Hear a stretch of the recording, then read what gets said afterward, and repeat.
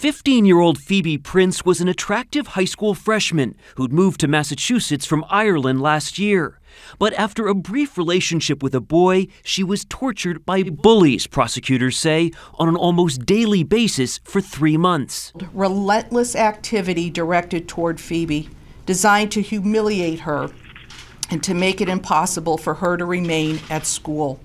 Today, District Attorney Elizabeth Scheibel announced that nine teenagers, seven girls and two boys, three of them juveniles, will face charges ranging from criminal harassment to assault, stalking, and statutory rape. Their conduct far exceeded the limits of normal teenage relationship related quarrels. There were people talking about her, and I guess she just didn't like being hated.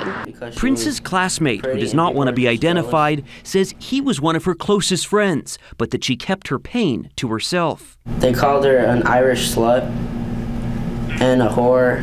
Prince hanged herself in her home on January 14th after particularly vicious taunting. The next day, friends held a candlelight vigil. It just makes me sad how it takes the life of a young teenager who had everything going for her to uh, to bring the community to realize how bad bullying is.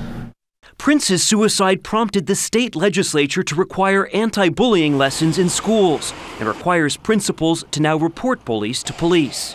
Seth Doane, CBS News, New York.